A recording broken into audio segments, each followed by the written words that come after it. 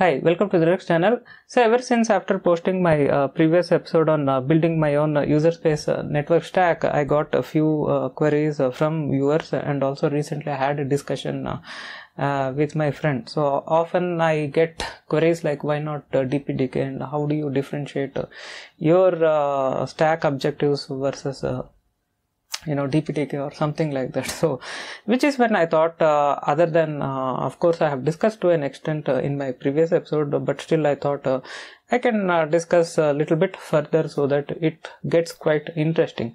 See uh, if you explore about you know dpdk and some of the objectives of dpdk you can see here the name itself says it's a data plane uh, uh, development kit. It is more like a you know uh, sdk it's a kit uh, just like you find uh, nvidia's uh, you know CUDA uh, kit. Okay so it is also in a kit. So it is a platform to enable uh, developers or uh, you know uh, to come with i mean it's a platform to enable you know network uh, uh, stack developers to uh, leverage this uh, you know uh, dpdk platform and then uh, they can come up with their own solutions. They can make uh, network appliances or whatever it is.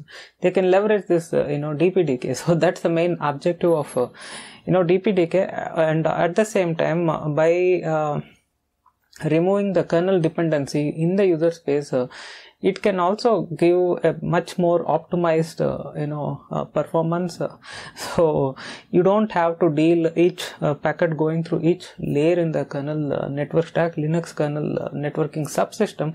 Rather than that dpdk directly it pulls to the user space and from there uh, you can uh, process uh, whichever way you want. So it has a different set of objectives so that way you can see here since it's a you know development kit it's a sdk you can see here uh, uh, they have provided an extensive uh, programmer's guide and they have also documented various apis and other stuff. So because it's it's a sdk actually like any other you know sdk it should have all this uh, you know documentation so that you can use it and uh, you can uh, take each sample and then you can modify and you can come up with your own you know stuff. So you can find a lot of uh, sample code and also the list of apis and in case if you are uh, interested with respect to any api you can uh, you know go through the documentation and stuff. So dpdk has a different uh, set of objectives uh, when i compare with what i want to what i am intended to do. Uh, see i'm i'm not against dpdk it is uh, it is meant for something else actually versus what i'm thinking is uh, to completely abstract uh, linux uh, kernel's uh, network stack uh, and then uh, uh, come up with uh, you know um, control plane management plane uh, stuff in the user space along with the data plane stuff in the user space so that uh, right now whatever is in the kernel space the way it has been exposed it is not that convenient. Suppose if you want to change some uh, uh, parameters you need to use the io control apis like i discussed in the previous episode. But at the same time if you want to get any statistics uh, like uh, you know port statistics or something again you need to pull you know via proc interface or something like that. See if config you get this uh, port statistics and as well as this uh, port ip and other stuff. So each and everything is having a different uh, type of interface. Uh, when it comes to ethtool uh, functionality you can see here ethtool minus uh, k uh, eno1 uh, when it comes to ethtool functionality it gets it via some other you know platform. I, I believe it is also an io control interface. See uh, these are the things. You have each and everything is communicated in a different way. And when it comes to using the network uh, services you use the socket apis and uh, stuff like that. The big issue with the sockets itself is the socket apis are quite old. They are almost like the, you know three decades old uh, stuff or more than that. So what i want to come up with is a simpler uh, layer so that uh, you can utilize uh, some of the core uh, functionality of any network stack like um, uh, you know uh, creating uh, udp or tcp you know uh, stuff uh, in the case of tcp it is tcp connections in the case of udp it is a udp session whatever it is.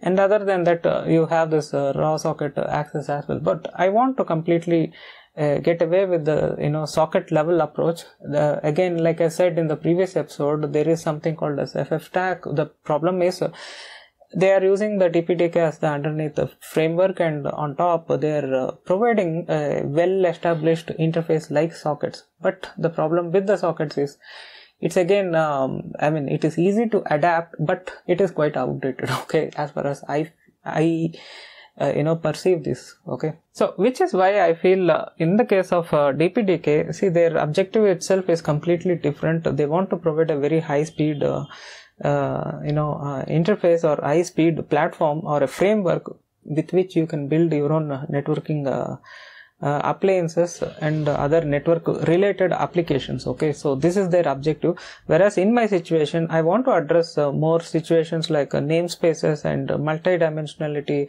of uh, you know network interfaces and also port mapping and uh, stuff like that. So we don't have that you know flexibility. When you access the bare metal and when you access the standard kernel you have this network namespace uh, but again you need to deal with this uh, kernel complication. And you don't have any uh, unified interface to deal all these things. And on the other side you have also other uh, workarounds. If you want virtual interfaces you have this uh, virtual uh, interfaces concept in linux. If not you need to use a tuntap interface and stuff like that. So each has its own uh, role each has its own uh, method. It has evolved time to time and we have all this stuff. But in my case what i'm thinking is uh, to provide a sort of unified uh, interface like i said in my previous episode each of this command whatever you use say for instance this eth tool or else uh, if config whatever it is each command is coming from a different source and that includes the commands like netstat minus l and uh, stuff like that. Each command is coming from a different source and uh, each source itself may be an uh, individual open source project okay? So this is what. So with this type of an approach what is happening is you have some core functionality in the linux kernel but when it comes to the user space you don't have that unified interface and also it it is a question of convenience so i want to experiment and see that what is the sort of a solution i can come up where in which i get basic uh, network services. At the same time i can add some extra layers because now we are in the user space. We can add any number of layers and any number of interfaces. And some interfaces can be a virtual uh, uh, hardware interfaces. Some interfaces can be dynamically linked or hooked to the nic card. Some can be you know unhooked and then uh, uh, you know it can be swapped around and the stuff like that. I'm completely thinking in a different you know uh, set of possibilities because it is an entire stack is in the user space. Uh, you can uh, uh, you know do lot many things than what it is uh, possible with the existing um, you know model.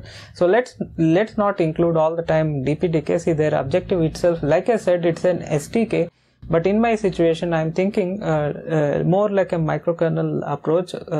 In the case of microkernel some of the kernel uh, subsystems are in the user space. Uh, similarly, in the case of Linux or FreeBSD, whatever it is, I want to chop down its uh, you know network functionality happening in the kernel space and instead use the user space stack and leverage its um, you know uh, possibilities.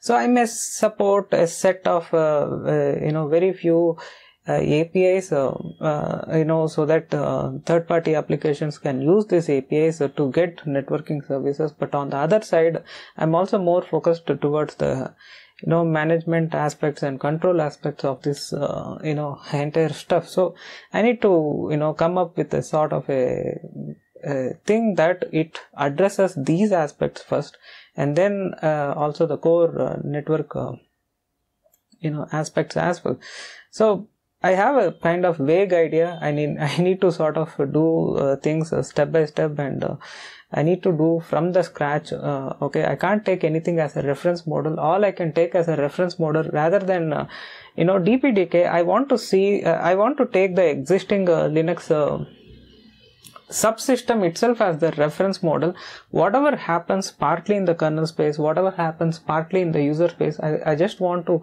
make a way that the entire thing uh, you know is possible with the user space and then kernel is just used as a, a, way to map these uh, you know ports of this uh, you know uh, stack whichever i'm doing. Okay so this is what. So it sounds quite crazy unless until i have some sort of a, a working demo then you will get some idea that what i'm talking about. But in the case of a question like DPDK versus mine, I feel that DPDK has entire set of different objectives, and uh, I'm not, uh, uh, you know, saying it is wrong or it is not good or something like that. It has a different set of objectives, and I feel I need to come up with a solution where uh, it addresses the other aspects of a network stack and it completely i can decouple the kernel network stack even i can do a compile and uh, you know disable the entire ip layer uh, IPv4 support, IPv6 support, and other uh, you know stuff, and uh,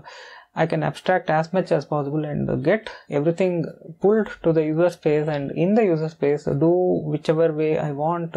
I can use uh, various uh, ways to communicate these uh, packets within applications. In case if it is localhost to localhost, I can uh, do whichever way I want. So it opens a complete set of possibilities which uh, you know unless until it is uh, you know done and experimented you know we cannot much you know get an idea. Okay since we have a reference model like dpdk most of the times uh, either dpdk or else the other one uh, like uh, uh, you know NUSE news or whatever you know you may compare. But the thing is i need to come up with some sort of a working um, you know uh, uh, bare uh, minimum experimental setup so that you can have a look and get some idea. So most probably i'm i'm already started but uh, you know i may do something which is uh, which can be showed to the viewers. Uh, sometime um,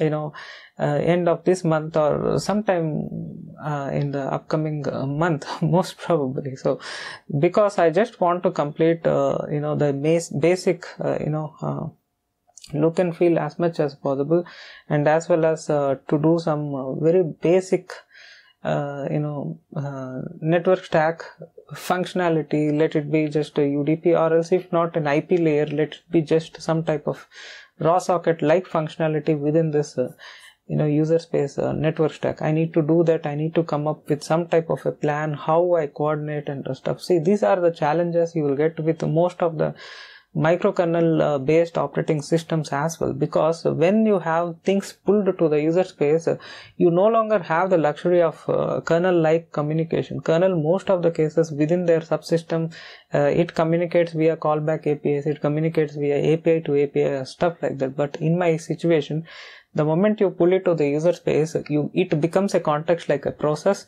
So the stack runs like a process and uh, if in case the other third party applications using the stack will become another process.